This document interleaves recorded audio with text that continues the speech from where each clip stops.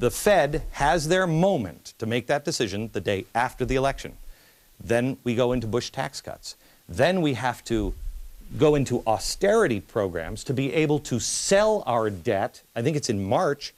A lot of our debt comes due again. China doesn't want to buy it. China is already saying, you're devaluing our money. If you remember what China said two years ago, the Chinese foreign minister came over here. And this, these words stuck out to me because if you understand the Asian culture, this is important. His warning was, do not dishonor our people's investment.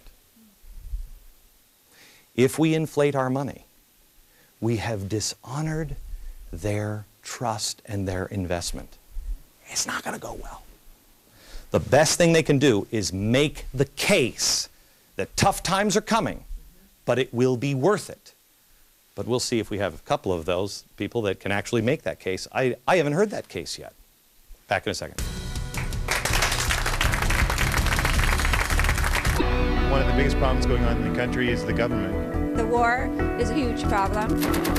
Concern about people and about uh, insurance, about Social Security, and human rights.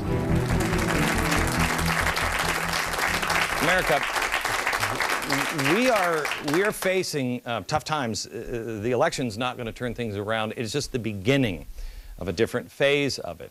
The question is, are we prepared for it? And do we have people that can actually lead us through a storm, take our hands and say, it's okay, it's okay. It's going to be tough, but it's okay. Joining us from Colorado is Tom Tancredo, former congressman who's now running for governor of Colorado, American Constitution Party. Ryan Frazier, he is a Republican running for Congress in Colorado also. And joining us from Arizona is Ruth McClung. She is a 28 year old.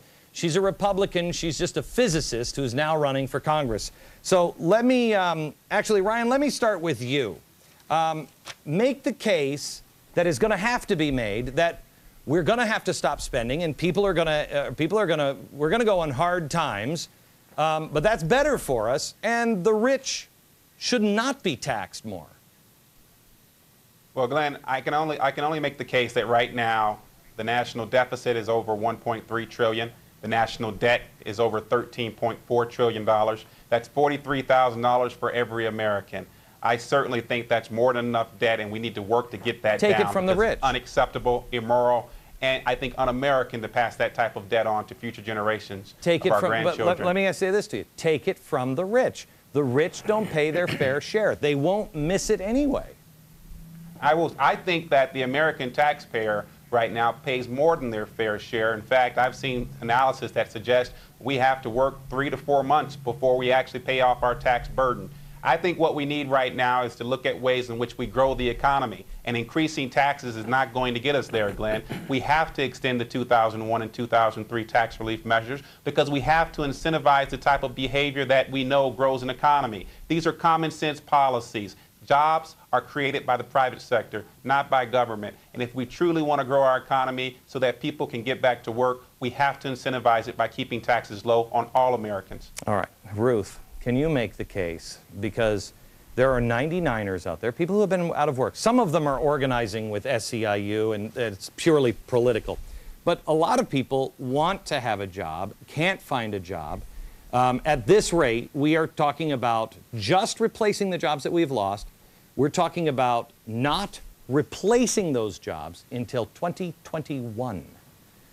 There's going to be a lot of pain out there. Make the case that the, that the rich do pay their fair share, that, are, that, uh, that cutting taxes and cutting spending when people need help is the right thing to do.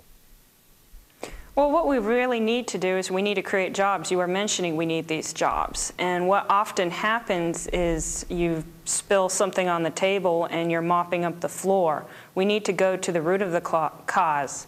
What is causing the joblessness right now in this country? Why are we not getting these unemployment numbers down? Why? And that comes down to we need to see what's happening with the small businesses out there. Many of them are worried about the future. They don't know what their taxes are going to be. I don't know what my taxes are going to be next year. This is something uncertainty kills small businesses. And then you have these um, these new bills that are being pushed through, they don't know how the health care bill is going to affect them. They don't know how that financial overhaul bill is going to affect them. So really when they talk about um, all these programs, what we really need to do is what's the root of the cause? People want a paycheck. They want the paycheck. They don't want the handout. They don't want the food stamp. They want the paycheck.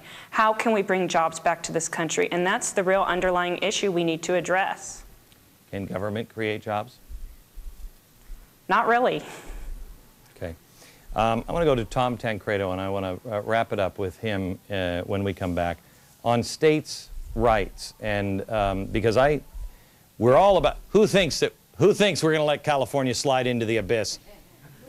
Nobody. Right. We're going to we're going to bail them out. Um, and it is going to be states that draw the line in the sand. And so we'll ask Tom what his plans are if he were governor of Colorado on drawing that line in the sand when we come back.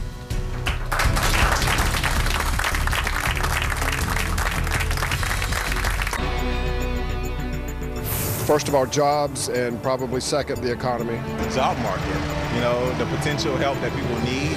Love technology, but so many jobs are being lost to technology. Corruption in D.C. and unemployment.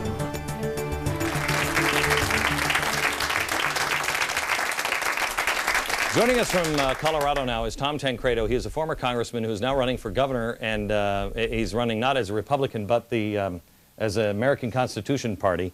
Um, are you a tenther, Tom?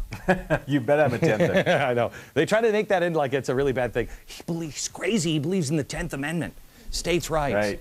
Um, uh, Tom, am I wrong to say that there, California is coming with their hands open? and this government will give it to them. Um, if the Republicans would hold the line, California will fail, and that'll just domino across everything.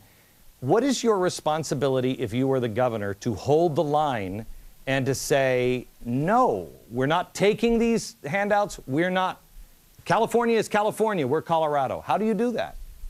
Yeah, because we'll get into the, if we take them, we'll get into exactly the same situation they're in. I, here's what I, I say all the time, Glenn, tell every group I, I, I come across. Um, the day after I'm elected, I'm going to pick up the phone, I'm going to call a couple of people. One will be Chris Christie in New Jersey, and the other is going to be Jan Brewer in Arizona. And I'm going to say to them, listen, you guys, maybe individually we, we wouldn't be able to do what I'm suggesting, what I'm going to suggest, but together, and maybe there'll be a couple of other governors out there that we can pull on the phone at the same time and say, together, let's do this. Let's the three, four, five of us as governors Let's start a 10th Amendment revolution in the country. Let's tell the federal government, you know what, here is the line, and you're not going to cross it. You're not going to take any more land from the state of Colorado or any other state that's involved with this. You're not going to tell us how to live our lives. You're not going to dangle any more money out there, or if you do, we're not going to take it because it costs way too damn much to take federal dollars. We can't afford it anymore, not just in terms of the economic costs, but what it takes away from us in terms of sovereignty. So let's start a 10th Amendment revolution in this country. I'm willing to, I'm, I'm willing um, to lead it, buddy. I tell you, I think um, Texas would join you in that. I know um, Governor, yeah. Governor Herbert in um, Utah is, is strong on, I mean, he's going after the federal government for taking, I mean, Utah, if you look at the map of Utah, most of it oh. is federal land. it, unlike That's any right. other state, they, they got nothing. And so he's going back and saying, we want our land back. Um, yeah. You remember that little land grab? The last thing Bill Clinton did before he left? Took, yeah. what, yeah. three, a quarter of the state of Utah? Right. So, uh, Tom, what happens from here? What do you, what do you, what do you see happening um, six months from now? Where are we? Well, I think of it as a great opportunity. We, have got all these deficits in Colorado, just like the federal government, but I think of it as an opportunity because never before, Glenn, have we had the ability, I think, to actually do something amazing. And that is to cut down the size of government, to but shrink you, the size of cause, government. You know now, and I know that will cause people pain in Colorado who will then say, yeah. your policies are hurting people. How do you convince them? Yes, it is, but we have to fundamentally change. Right, it's the medicine we've got to take because we can't kick this can down the road any longer. If you do, you are simply giving your children a sentence, a, a, essentially a, an economic death sentence. We cannot do this to the country, and I'm going to tell the people of the state of Colorado, here are the things we're going to have to do. Some of it you may not like, but it's got to be done, and we've got to start now. No more whistling past the graveyard. Um, it's amazing, America, how many times we have been told in the past that the day will come, the, the reckoning will come when we have to pay the debt that we have racked up. I've heard it my whole life. I remember, I, think, I think even Nixon talked about it. Um, it's here. Now the choice is on Tuesday. Back in a second.